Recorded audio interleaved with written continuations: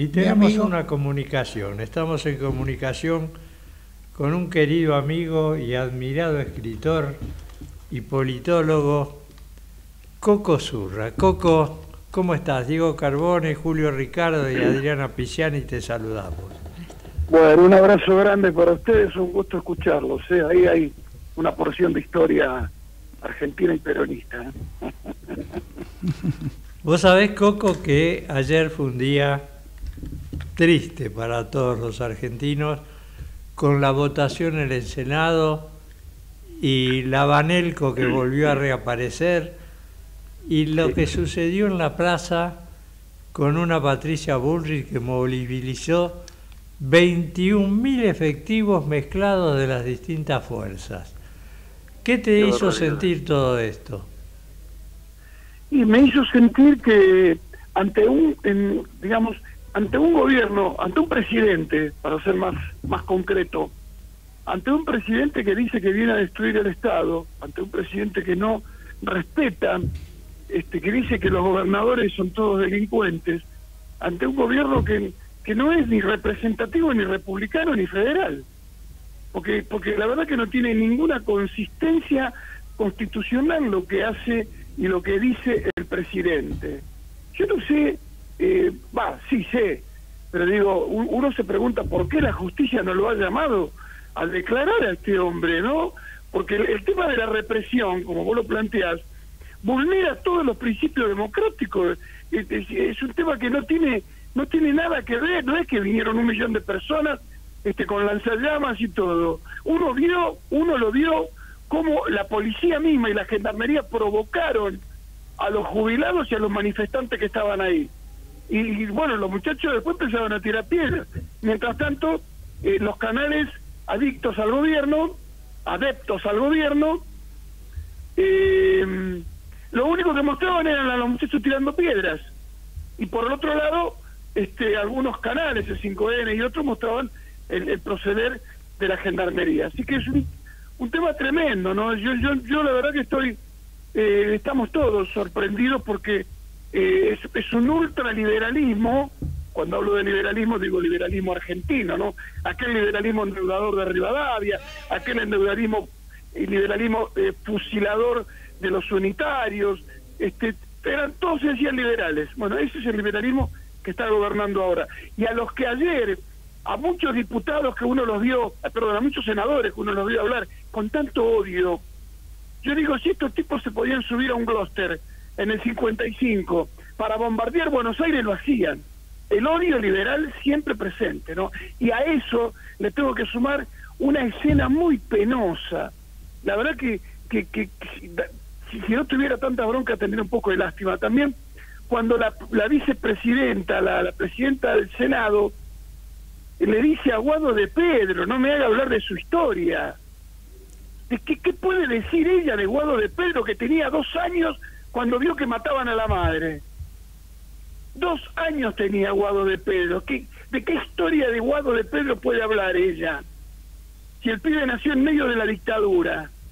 Bueno, ese tipo de cosas me, me, me, me revelan, ¿viste? Me revelan y además tengo mucha pena porque entramos en, un, en una espiral descendente en el país que yo no sé cómo vamos a salir, ¿no? porque no veo de nuestro lado con claridad que se manifieste, que se revele una conducción concreta del conjunto. Acá hay conducción de partes, pero no veo una conducción del conjunto, no la veo.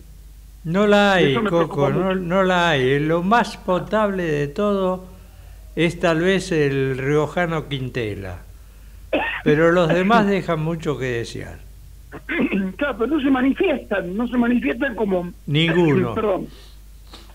Como conducción, ¿no es cierto? Y los últimos tres presidentes que tuvimos que votar, perdón, de los cuales dos perdieron, ninguno de los tres era peronista ni, y tampoco era kirchnerista, porque no lo era Scioli, no lo era Alberto Fernández y no lo de Massa.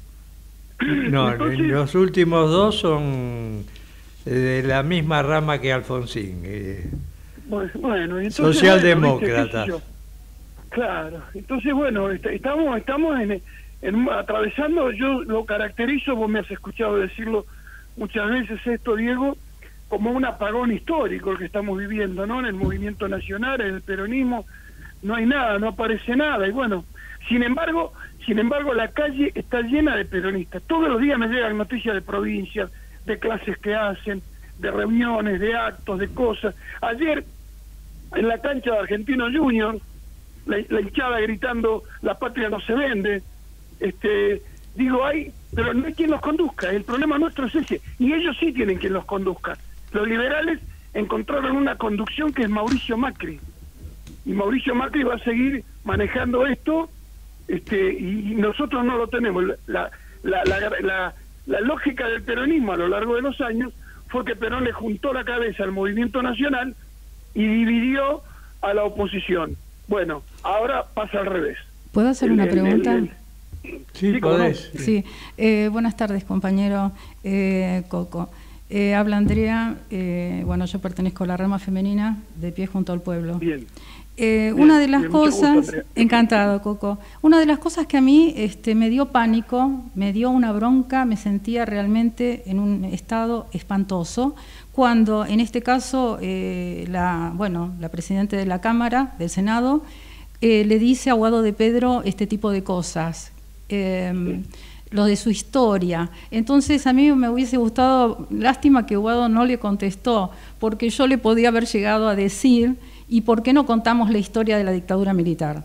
No, y de su padre, que era represor. Exactamente, pero aparte... sí, sí, sí, te escucho. No, no, pero, pero yo hoy charlaba con un compañero y le decía, e, esta señora que se da el lujo de, de hablar de los muertos, ¿no? Y que se da el lujo de, de, vapulear a, un senador que vos podés estar a favor o en contra, pero vos no te podés meter con la historia de un pibe que vio que mataban a su madre cuando tenía dos años. Nunca. Cuando recién había cumplido dos años. Porque esta mujer no piensa en la historia actual. Porque ella es vicepresidente y de rato presidente de un gobierno que tiene a Caputo denunciado por el mismo presidente como un chorro que se robó 15 mil millones de dólares. Ella que habla de la que está, forma parte de un gobierno que habla de la casta y se han rodeado de lo peor de lo peor. Y ahí está Franco y ahí está este Macri y ahí está Bullrich y ahí está Scioli y ahí de qué casta me vienen a hablar y, ella forma parte de un gobierno mentiroso que fue votado porque prometió que el ajuste lo iban a pagar los malos políticos a los que ellos denominaban casta. Y, y, lo que Kicillof dijo ayer o antes de ayer en la Casa de la Provincia de Buenos Aires, estuvo muy bueno. Lo dijo, si ustedes quieren saber quién está pagando, para enterarse quién está pagando el ajuste, vayan al supermercado, vayan a la farmacia, vayan a la estación de servicio y ahí se van a dar cuenta quién está pagando el ajuste. Sí, vos nombraste... Que hablar Nombraste al ministro del Interior y que tiene dos cargos ahora, además, a Guillermo Francos, y la, gente joven no sabe quién es Guillermo Franco, ni nosotros sabemos quién era cuando era el chinchorro de Paco Manrique. Sí, señor.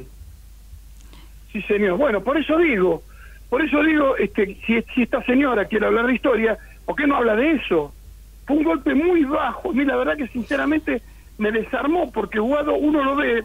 Yo no tengo, no, no soy de la cámpora, vengo de otro palo, tengo tengo mis críticas a la cámpora y también tengo este mi, reconocimientos eh, a, muchas cosas que hizo el, gobierno de Néstor y el gobierno de Cristina, ¿no? Trato en esto de, ser un peronista lo más objetivo posible. Pero uno conoce el drama de Guado de Pedro. Uno sabe por qué tartamudea Guado de Pedro. Y no puede ser tan... Yo tengo una hija discapacitada que tiene síndrome de Down.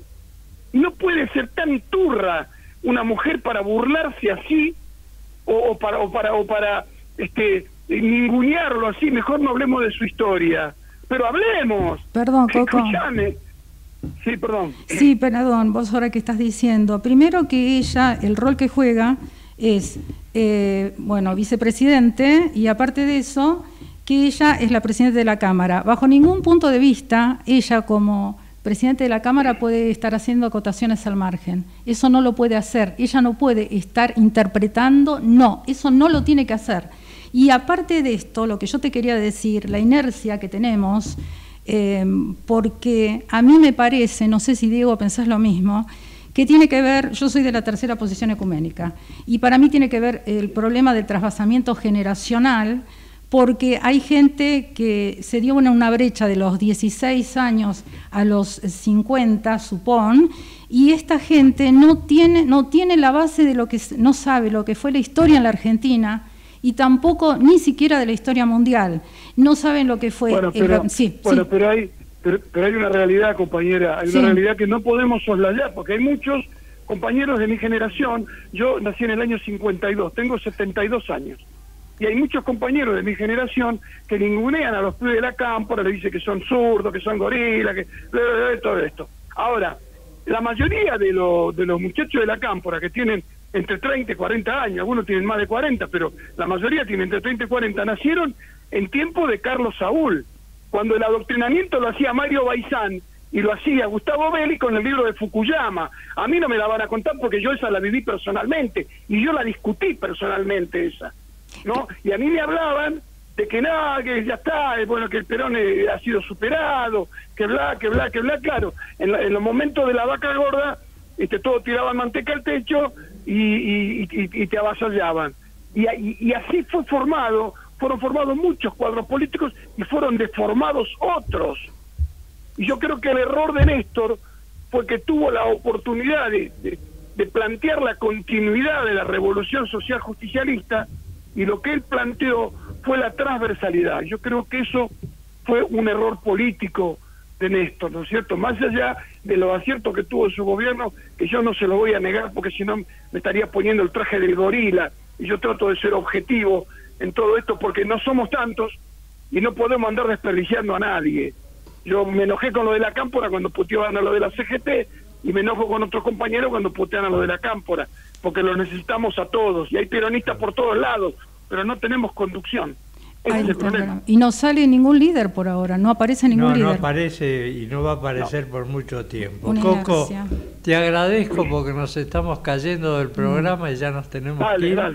Gracias. Y no va a faltar oportunidad de que charlemos de nuevo. Te mando un abrazo. Bueno, muchas gracias, Dieguito, muchas gracias, compañera. Abrazo grande a Julio. Gracias, un fuerte abrazo.